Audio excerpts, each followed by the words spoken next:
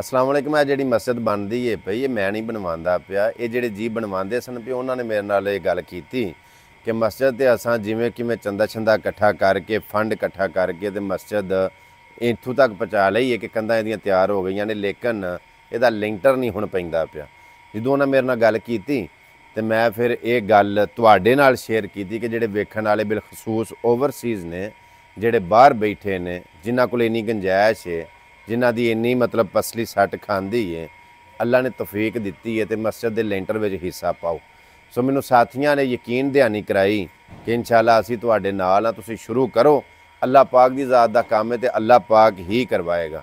ਉਹ ਮੈਂ ਦੋਸਤਾਂ ਦੇ ਕਹਿਣ ਦੇ ਉੱਤੇ ਇਹ ਮਸਜਿਦ ਦੇ ਲੈਂਟਰ ਵਾਸਤੇ ਜਿਹੜਾ ਨਾ ਹਾਮੀ ਵੀ ਭਰੀ ਔਰ ਅਲਹਮਦੁਲਿਲਾ, ਇਹ ਜੋ ਤੁਸੀਂ ਵੇਂਦੇ ਹੋ ਪੇ ਅੰਦਰ ਆ ਜਾਓ, ਵੇਖੋ ਕਿ ਇਹ ਜਿਹੜਾ ਸ਼ਟਰਿੰਗ ਵਾਲਾ ਮਾਮਲਾ ਹੈ ਮਤਲਬ ਸ਼ਟਰਿੰਗ ਹੋ ਰਹੀ ਹੈ ਕਿ 2 ਦਿਨ ਤੱਕ ਇਹ ਸ਼ਟਰਿੰਗ ਜਿਹੜੀ ਹੈ ਇਹ ਮੁਕੰਮਲ ਹੋ ਜਾਣੀ ਹੈ ਇਹ ਜਿਹੜੇ ਬੀਮ ਨੇ ਨਾ, ਇਹ ਜਿਹੜੇ ਉੱਤੇ ਪਏ ਨੇ, ਇਹਨਾਂ ਨੂੰ ਲਟਕਾਵੇਂ ਬੀਮ ਆਖਿਆ ਜਾਂਦਾ ਕਿ ਮਤਲਬ ਇਹਨਾਂ ਦੇ ਉੱਤੇ ਛੱਤ ਪੈਣਾ ਕਿਉਂਕਿ ਹਾਲ ਵੱਡਾ ਹੈ ਜੇ ਇਹ ਬੀਮ ਨਾ ਲਟਕਾਵੇਂ ਪਏ ਹੋਣ ਤੇ ਫਿਰ ਉਹ ਵਜ਼ਨ ਬਹੁਤ ਜ਼ਿਆਦਾ ਹੁੰਦਾ, ਕਿਉਂਕਿ ਥੱਲੇ ਦੀਵਾਰਾਂ ਹੋਰ ਦੇ ਵਿੱਚ ਹੈ, ਕੋਈ ਨਹੀਂ ਤੁਸੀਂ ਵੇਂਦੇ ਹੋ ਪਏ ਸੋ ਇਸ ਵਾਸਤੇ ਇਹ ਲਟਕਾਵੇਂ ਬੀਮ ਜਿਹੜੇ ਨੇ, ਇਹ ਪਹਿਲਾਂ ਭਰੇ ਜਾਣਗੇ, ਇਹਨਾਂ ਦੇ ਵਿੱਚ ਸਰੀਆ ਵੱਜੇਗਾ ਤੇ ਫਿਰ ਇਹ ਪਹਿਲਾਂ ਭਰਾਈ ਹੋਏਗੀ ਇਹਨਾਂ ਬੀਮਾਂ ਦੀ। ਤੇ ਫਿਰ ਇਹਨਾਂ ਦੇ ਉੱਤੇ ਜਿਹੜਾ ਨਾ ਉਹ ਸ਼ਟਰਿੰਗ ਲੱਗ ਕੇ ਤੇ ਲੈਂਟਰ ਪੈ ਜਾਏਗਾ।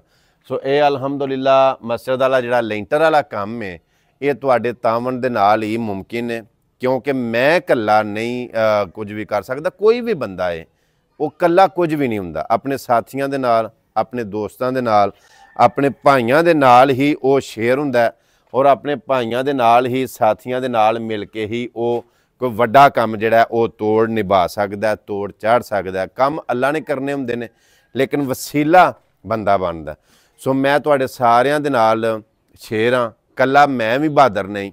ਇਸ ਵਾਸਤੇ ਤੁਹਾਡੇ ਸਾਥੀਆਂ ਦੇ, ਤੁਹਾਡੇ ਦੋਸਤਾਂ ਦੇ ਤਾਮਨ ਦੀ ਬੜੀ ਸਾਰੀ ਜ਼ਰੂਰਤ ਹੈ। ਸ਼ਟਰਿੰਗ ਜਿਹੜੀ ਹੈ, ਇਹ ਤਕਰੀਬਨ ਤਕਰੀਬਨ 2 ਦਿਨ ਤੱਕ ਇਨਸ਼ਾਅੱਲਾ ਇਨਸ਼ਾਅੱਲਾ ਮੁਕੰਮਲ ਹੋ ਜਾਣੀ ਹੈ। ਅੱਲਾ ਸੋਨਾ ਖੈਰ ਵਫੀਅਤ ਰੱਖੇ। ਪਹਿਲਾਂ ਇਹ ਬੀਮ ਭਰ ਕਤਨ ਦੇ ਤੇ ਫਿਰ ਜਿਹੜਾ ਵੇ ਉੱਤੇ ਉਹ ਲੈਂਟਰ ਪੈ ਜਾਏਗਾ। ਕੰਮ ਬੜਾ ਖਰਚੇ ਵਾਲਾ ਯਾਨੀ ਕਿ ਇੱਕ ਬੜਾ ਪੈਸਿਆਂ ਵਾਲਾ ਕੰਮ ਹੈ ਇਹ ਅ, ਥੋੜਾ ਕੰਮ ਤੇ ਹੈ ਕੋ ਨਹੀਂ।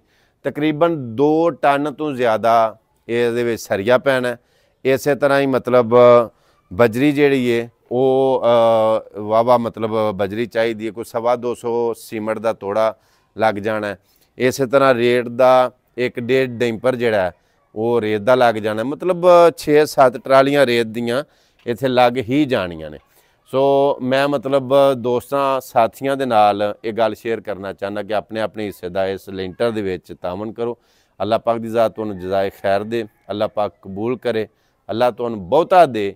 ਇਹੋ ਹੀ ਜ਼ਰੀਆ ਨਜਾਤ ਹੈ ਇਹੋ ਹੀ ਆਖਰਤ ਵਾਸਤੇ ਜ਼ਖੀਰਾ ਹੈ ਇਹੋ ਹੀ ਤੁਹਾਡਾ ਸਦਕਾ ਜਾਰੀਆ ਹੈ ਜੋ ਮਾਲ ਹੈ ਤੁਹਾਡਾ ਜੋ ਅੱਲਾਹ ਪਾਕ ਦੀ ਜ਼ਾਤ ਨੇ ਤੁਹਾਨੂੰ ਤੌਫੀਕ ਦਿੱਤੀ ਹੈ, ਤੁਹਾਡੇ ਕੋਲ ਜੋ ਕੁਝ ਵੀ ਹੈ ਵੇ, ਆਪਣੇ ਅੱਗੇ ਵਾਸਤੇ, ਆਪਣੇ ਮਰਹੂਮੈਨ ਵਾਸਤੇ ਫੌਤ ਸ਼ੁਦਗਾਨ ਵਾਸਤੇ, ਤੁਸੀਂ ਇਥੋਂ ਜ਼ਖੀਰਾ ਕਰ ਸਕਦੇ ਹੋ, ਜੋੜ ਸਕਦੇ ਹੋ।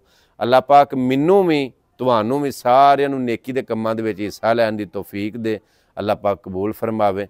ਸੋ ਇਹ ਮੇਰਾ ਨੰਬਰ ਤੁਹਾਨੂੰ ਸਕਰੀਨ ਉੱਤੇ ਨਜ਼ਰ ਆਉਂਦਾ ਪਿਆ 0300 ਪੂਰਾ 7122 740 ਇਹ ਮੇਰਾ WhatsApp ਦਾ ਨੰਬਰ ਹੈ, ਇਹੋ ਹੀ ਮੇਰੀ ਕਾਲ ਦਾ ਨੰਬਰ ਹੈ, ਇਹ ਮੇਰਾ ਪਰਸਨਲ WhatsApp ਨੰਬਰ ਹੈ। ਤੁਹਾਨੂੰ ਸਕਰੀਨ ਤੇ ਨਜ਼ਰ ਆਉਂਦਾ ਪਿਆ, ਤੁਸੀਂ ਇਹਦੇ ਤੇ ਰਾਬਤਾ ਕਰ ਲਓ। ਇਨਸ਼ਾਅੱਲਾ ਤੁਹਾਨੂੰ ਮੈਂ ਡਿਟੇਲ ਜੋ ਵੀ ਸੂਰਤ ਹਾਲ ਹੈ, ਜੋ ਵੀ ਚੀਜ਼ ਚਾਹੀਦੀ ਹੈ, ਜਾਂ ਜਿਹਦਾ ਅਰੇਂਜ ਹੋ ਗਿਆ ਜਾਂ ਮਜ਼ੀਦ ਜਿਹੜੀ ਚੀਜ਼ ਦੀ ਅਜੇ ਜ਼ਰੂਰਤ ਹੈ, WhatsApp ਤੇ ਤੁਹਾਡੇ ਨਾਲ ਗੱਲ ਕਰਕੇ ਤੇ ਤੁਹਾਡੇ ਨਾਲ ਸ਼ੇਅਰ ਕਰਦਾ ਰਹਾਂਗਾ। ਮੈਨੂੰ ਇਜਾਜ਼ਤ ਦਿਓ ਮਿਲਨੇ ਇੱਕ ਨਵੀਂ ਵੀਡੀਓ ਦੇ ਨਾਲ। ਅੱਲਾ ਸੁਣਨ ਦੇ ਵਾਲੇ ਅਸਲਾਮ ਅਲੈਕੁਮ